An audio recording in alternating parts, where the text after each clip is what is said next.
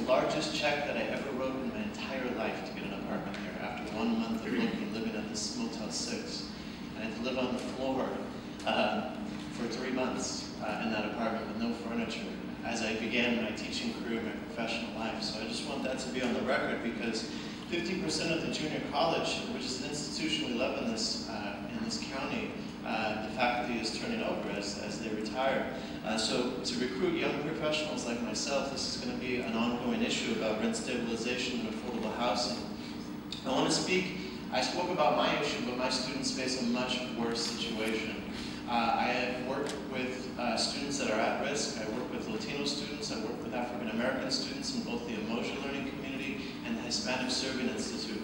These are wonderful, bright, young students. We need them in our community. We need them to stay in our community. As they graduate from the college, we need their energy, we need their bright minds, and we need uh, people whose parents, these are, these, are, these are the kids of parents that work in the fields, these are the kids that work in our service industry that are the most exploited workers and the most low-income workers in our county, but they have carved out of that oppression a monumental dignity. And we need students like that that come from those families, those dignified families, to fight against the world of people that are poisoned with greed.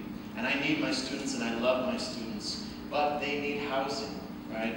They cannot afford to live in these communities. They cannot, they're, they're being uh, choked in their development because they're not able to move out of their houses. let me speak to the parents in the room. Don't you want your kids to move out at some point so you can have a little bit of space to, your, to yourself? there we go. So uh, this, I, I, urge you to, to take on rent stabilization, affordability, and until, the, until time you can do that, a moratorium, and please put uh, a living wage together with all these things because they all work together. Thank you. Thank you, Mr. Hale. Pastor Lee Turner and Pastor. Hello, my name is Michael Hale. I'm a professor at Santa Rosa Junior College. Um, I'd like to share with you that the most exciting day is when I got the, when I received the notification that I had a job at Santa Rosa Junior College right after receiving my PhD. I moved here with my family and I had to live in a motel for the first month because there was less than a 2% vacancy in this entire town. It was the largest check in my entire life uh, to get a, to get an apartment, a two-bedroom apartment in this community. So while I was embarking on my professional career, I was very excited uh, to become the, a new full-time professor in this institution that is so revered in the county. Um, had to sleep on the floor for the first three months uh, because I couldn't afford any furniture. So not only did I stay in the motel for the first month, three months after that, when I re finally received my apartment, I had to sleep on the floor. Um, and if it was, and you know, as it's bad for me, it is e even worse for my students. And I, and I support my students so much. I love my students. Um, they are the, the bright minds. They are the future of this county. We need their energy. We need their enthusiasm. But they can't stay here if they can't find housing how can we recruit young professionals? How can we, we, we promise all the training uh, in this college, this wonderful institution of learning. We have nurses, we have people that are training to be firefighters, we have people that be training in all these wonderful services, but they don't make a wage that can equal the, an affordable house within this county. We need to work on affordable housing, we need to work on rent stabilization, and we need to work on a, a living wage for this county. Uh, Labor Council. Um, we have over 70 affiliates and over 60,000 workers and their families who are um, employees. I am here and it's great to be reassured that the priorities that you have are going to continue, that you've listed are going to continue to be priorities.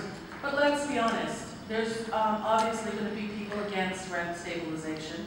Let's, let's deal with uh, the real agenda of a lot of groups that, be it real estate or be it Chamber or be it the Alliance, who represent employers and owners, they are going to fight hard against um, allowing working people to have a fair wage and to have um, affordable housing. As Jack Ruckler has said, the best way to make housing affordable is to raise wages. There's more affordable housing if more people are being paid decent wages. So all the groups, I hope, the business groups and the Chamber and the Alliance, they constantly wring their hands and want to build their way out of um, the housing issue, should maybe instead look at paying good wages and benefits to workers and increasing the ability of people to afford good housing. Um, we can't build our way out of this crisis. It's going to take more than just one fix. But I also hope that the City Council is aware that part of the energy here is that people are concerned that a lack of political will and intimidation by business groups and real estate interests are gonna stop you, the city council, from doing what you are supposed to do and what almost everybody in this city agrees we need. And that's speak up on behalf of the working class, the people who elected you, and not on behalf of the interests, the owners, and the people who are raising our rents astronomically. So please keep that in mind. Find and keep the political will you all told us you had when you were campaigning. And please keep fighting for working people. Thank you.